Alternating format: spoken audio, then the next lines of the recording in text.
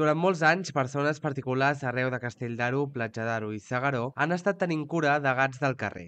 Ja no només donant-los menjar, sinó també esterilitzant-los, medicant-los i pagant de la seva pròpia butxaca totes les despeses que provoca cuidar aquests animals. I així va ser com va néixer l'associació Gats d'Aro, una associació que té com a objectiu protegir i ajudar els gats del carrer, facilitar les adopcions de gats dòcils i millorar la convivència entre veïns i gats. L'Helena Sabadell és la tresorera i cofundadora de l'associació Gats d'Aro, que explica que des de l'any 2021 lluiten per les condicions de vida dels gats del carrer. Actualment porten més de 30 colònies de gats i cadascuna té el seu propi alimentador. Des que van començar s'estima que ja porten 400 gats esterilitzats. Hem aconseguit molt en poc de temps, si comparem amb altres municipis que estan molt, molt avançats però que porten molts anys fent-ho. Nosaltres portem pocs anys, però hem aconseguit que l'Ajuntament s'impliqui amb el tema sobretot de les despeses de veterinari, que és, és el, la partida més gruixuda, és on se gasten més diners no? en veterinaris, ell està, es fa càrrec del que són despeses veterinàries, sempre es queda curt, perquè en tema de diners tothom es quedem curt sempre. A banda de les persones que formen part de l'associació, també participen diferents voluntaris i voluntàries. És el cas d'en Jordi Figueres, que ja fa un temps que va passar pel carrer Massais de Segaró i va escoltar diferents gats que miolaven i des d'aquell moment se li va trencar el cor i va començar a col·laborar de forma voluntària amb l'associació Gats d'Aro.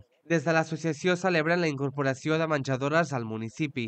Aquesta és la primera menjadora que s'ha instal·lat a Segaró, però des de l'Ajuntament de Castell d'Aro, Platja d'Aro i Segaró tenen previst augmentar-les i arribar a les 10 menjadores. L'important és trobar un lloc adequat que no molesti els veïns, que, si, que no faci un impacte visual tampoc massa, massa important. Aquí està bé doncs, perquè hi ha uns arbres i queda bastant, bastant camuflat i jo crec que és una bona solució pels gats i pels veïns i per tothom. Cal destacar que els gats són autosuficients i el fet de tenir aquestes menjadores els ajuda a fer que tinguin reserves de menjar.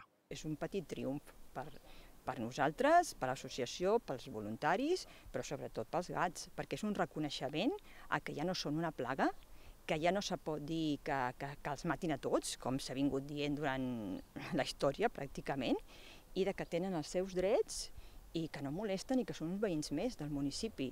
Invitar l'Ajuntament que segueixi, vale? que, que hi ha molta gent sensibilitzada amb aquest tema, al final són animals que també tenen dret de la vida, i que, i que el que hem d'intentar entre tots pues, col·laborar eh, i que hi hagi una mica d'organització i, que, i que la cosa quedi més controlada. No? Des de l'Ajuntament de Castelldaro, Platja d'Aro i Segaró s'han adaptat a la llei de benestar animal i aquest any tenen un pressupost de 105.000 euros, un gran augment respecte a altres anys. I ara a poc a poc anem, anem fent, construint les menjadores, anem fent serveis veterinaris, eh, estem intentant, elles necessiten també eh, gàbies per fer captures i també estem treballant en un tema de carnets perquè, perquè no sigui un descontrol el tema de l'alimentació. D'aquí a no gaire temps volen més millores. Des de l'associació Gats d'Aro esperen que tots els gats estiguin esterilitzats i que hi hagi un servei pels gats malalts i que s'arribi a una normalitat entre gats i veïns.